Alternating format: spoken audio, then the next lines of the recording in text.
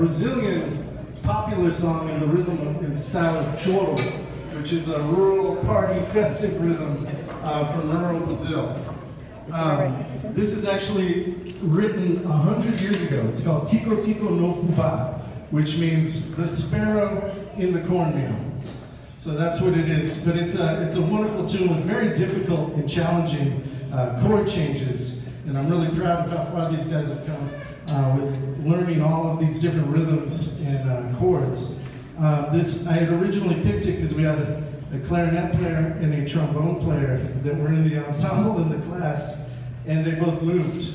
Uh, so we didn't have anybody to play it, so I had to, I'm, I'm going to play it on the xylophone, the melody, uh, and these guys are going to rock the rhythm section. So here's Tico Tico no.